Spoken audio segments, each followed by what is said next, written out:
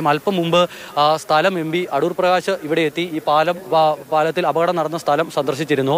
ഈ വിഷയവുമായി ബന്ധപ്പെട്ട് വിശദമായ അന്വേഷണം വേണം എന്നുള്ളതാണ് എം പി അടക്കം ആവശ്യപ്പെടുന്നത്. ഇങ്ങനെയൊരു അപകടം ഇവിടെ ഉണ്ടായി. തലനാരിഴയ്ക്കാണ് വലിയ ഒരു ദുരന്തം ഒഴിവായത്. ഈ നമുക്കിവിടെ നിന്ന് നോക്കിയാൽ തന്നെ കാണാൻ കഴിയും. ഇതൊക്കെ റിപ്പോർട്ട് ചോദിച്ചിട്ടുണ്ട് എന്നൊക്കെയാണ് മന്ത്രി പറയുന്നത്. പക്ഷേ ഇവിടെ നിന്ന് നോക്കിയാൽ സാധാരണക്കാരന് പോലും മനസ്സിലാകും അപകടകരമായ രീതിയിലാണ് ഇത് പ്രവർത്തിക്കുന്നത് എന്നുള്ളത്. എം പിക്ക് എന്താണ് തോന്നുന്നത്? ഇപ്പോൾ മന്ത്രി റിപ്പോർട്ട് ചോദിച്ചത് ആരോടാ? ടൂറിസം ഡയറക്ടർ അടുത്ത്. ടൂറിസം ഡയറക്ടർ റിപ്പോർട്ട് കൊടുക്കാൻ പോകുന്നത് എന്താ? മന്ത്രിയുടെ ഓഫീസിൽ നിന്നും അല്ലെങ്കിൽ മുഖ്യമന്ത്രിയുടെ ഓഫീസിൽ നിന്നും കൊടുക്കുന്നതനുസരിച്ച് ഒരു റിപ്പോർട്ടാണ് വരാൻ പോകുന്നത്. ഞാൻ അതുകൊണ്ടാണ് ആവശ്യപ്പെട്ടത് ഇതേക്കുറിച്ചൊരു ജുഡീഷ്യൽ അന്വേഷണം നടക്കണം. ഇതിന് പണം എത്ര ചെലവഴിച്ചു?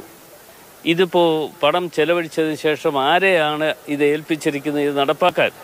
ഇന്നലെ തന്നെ ഇവിടെ നാട്ടുകാർ തന്നെ പറഞ്ഞു ഇത് ഇന്നലത്തെ കള്ളക്ഷോഭം കണ്ടുകൊണ്ട് നാട്ടുകാർ പറഞ്ഞു ആളുകളെ കയറ്റരുത് എന്ന് പറഞ്ഞു എന്നാണ് എനിക്ക് മനസ്സിലാക്കാൻ കഴിഞ്ഞത്. അവരിത് പറയാൻ കാരണം എന്താ? ചുമ്മാതെ പറഞ്ഞതല്ല.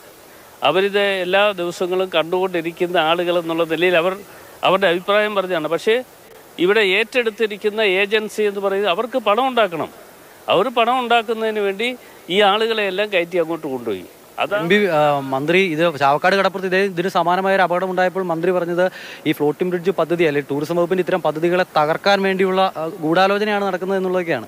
എന്തായാലും മന്ത്രി അത് പറഞ്ഞതിൽ എനിക്ക് സന്തോഷമുണ്ട്. എന്താണെന്ന് വെച്ചാൽ ആദ്യത്തെ തകർന്നു. അതെല്ലാം പറക്കി കെട്ടിപ്പോകുന്നു. രണ്ടാമത്തത് ഇവിടെ വെച്ച് വീണ്ടും തകർന്നു. ഇനിയിപ്പോൾ ചെയ്യാൻ പോകുന്നത് എന്താ? അത് പറക്കി കെട്ടിയൊക്കെ പോകും. ഇപ്പോൾ ഇവിടുത്തുകാർക്ക് ഒരു എന്താ പുതുവർഷ സമ്മാനമായി നൽകിയതല്ലേ ഇത്? സമ്മാനം നൽകി എന്നാണ് അദ്ദേഹത്തിന്റെ പ്രസംഗത്തിൽ നിന്ന് മനസ്സിലാക്കാൻ കഴിഞ്ഞത്. ഇതിപ്പോൾ ആരെ അറിയിക്കാതെ രഹസ്യമായി ഒന്നോ രണ്ടോ പേര് വരിക മന്ത്രി വരിക മന്ത്രിയോടൊപ്പം അദ്ദേഹത്തിന്റെ പാർട്ടിക്കാരനായ എം എൽ എ വരിക അല്ലെങ്കിൽ ഇവിടെയുള്ള മറ്റു പാർട്ടിക്കാരെ വിളിക്കുക. എന്നാൽ ഇതിനകത്ത് ഒരു സുതാര്യത ഈ കാര്യത്തിൽ ഇല്ല എന്ന കാര്യത്തിൽ ഒരു സംശയമില്ല അതുകൊണ്ടാണ് സുതാര്യത ഇല്ലാത്ത വിഷയമാണ്.